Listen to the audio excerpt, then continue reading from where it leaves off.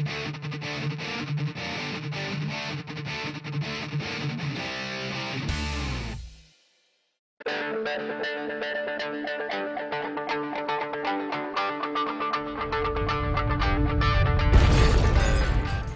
dat er ehm, meer ehm, humor is in de klas en ehm, dat het eigenlijk er niet echt ertoe doet ja, of dat je goed leert of niet. Dat je eigenlijk gewoon moet bijleren. Ehm, vooral veel technologischer. Um, tablets en zo, ehm, zodat je veel minder eh, boeken moet meenemen naar de les.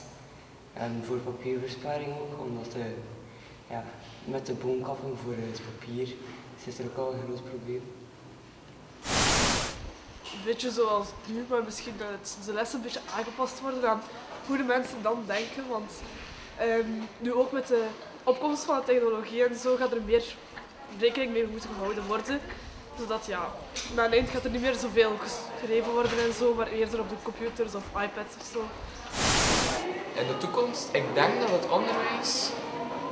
Ik denk dat er minder leerkrachten zullen zijn. Ik denk dat er, meer dat er één leerkracht meerdere vakken zullen beginnen, zullen beginnen geven om, om kosten te besparen in het onderwijs. En ik denk dat er ook veel meer ICT aan de, aan de pas zal komen. Ehm, ik vind dat er wel eh, meer rekening moet gehouden worden met de leerlingen. Dat er ja, misschien wat minder taken of toetsen, eh, zodat ze ja, meer, meer tijd hebben om, eh, om alles voor te bereiden en alles goed uit te voeren. Ehm, ik denk dat het onderwijs nog zeer veel zal evolueren Ehm, met eh, aangepaste lessen, met eh, tegenwoordig computers, iPads en dergelijke.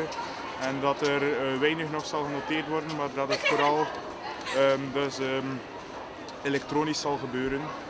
Ehm, met, met heel veel evolutie nog in vergelijking met vandaag.